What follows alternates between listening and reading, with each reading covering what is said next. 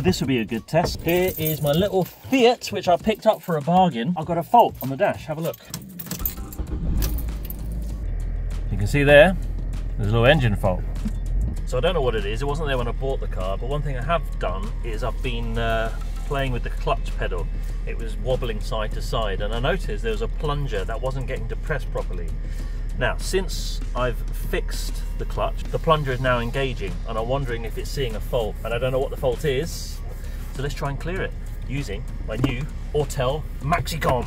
Let's move on, cause it's time to move on. Let's go into diagnosis. This is a European car, obviously. It's a Fiat, and we'll go and find Fiat. You can actually just search for Fiat. There's Fiat there. And press accept. And we're going to go into auto scan and see what you can see. It's coming up for the VIN number. So I tried to read the VIN number like I did on the Mercedes, but it didn't actually find it. So I got the VIN number, which is in the trunk on a Fiat. So the VIN number on a Fiat is in the trunk. Lift up the corner on the left hand side and there she is. And I'm going to enter it manually. But it comes up as a Fiat 500, it's a 2007, although the registration says 2009.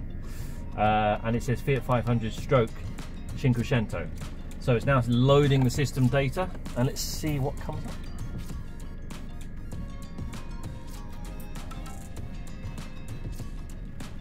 We've got a Lambda probe, clutch pedal switch.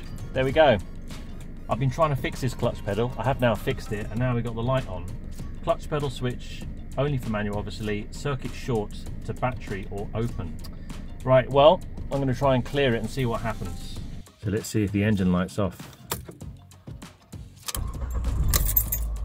Hey! She's gone. The second little job that my Autel Maxicom has managed to sort out. Now on my little Fiat. So a couple of things I've learned from this.